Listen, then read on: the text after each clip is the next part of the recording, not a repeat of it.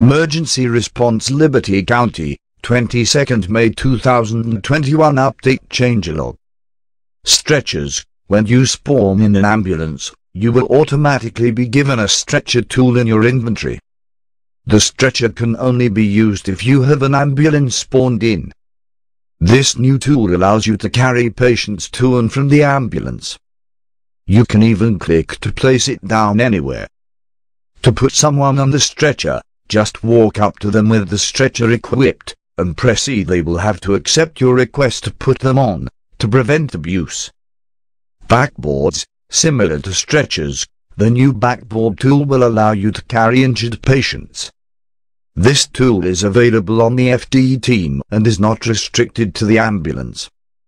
To put someone on the backboard, just walk up to them with the backboard equipped and press E. They will have to accept your request to put them on, to prevent abuse. Medical Revival RP. Now, every time you get killed, you will see options pop up on your screen. You'll have options to respawn immediately or stay and roleplay a medical revival.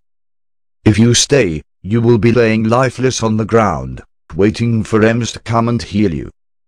You will see the number of FD online on the gang. You can also submit an EMS call which will be sent over the radio. When EMS arrives, they can use the medic bag to heal you, or use their new stretcher to carry you to the ambulance. Note, we cannot guarantee that there will be medics online and available to come to help you.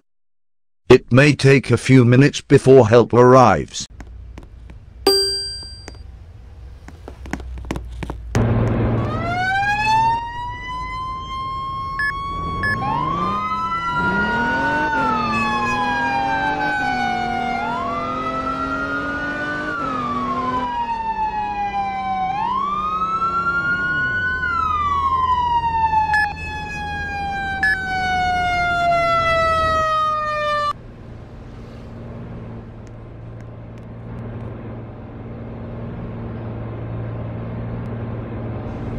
Help.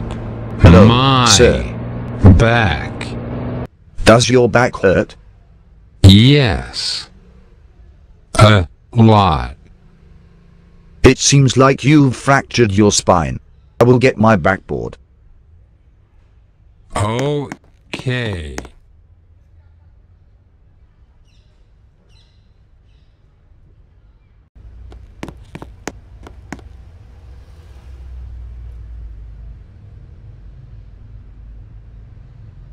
Stay in the same position.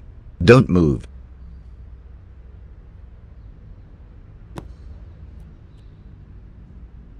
Okay. Take a few deep breaths.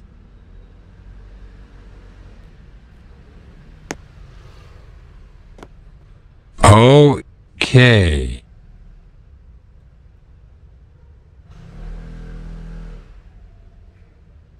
All right, sir.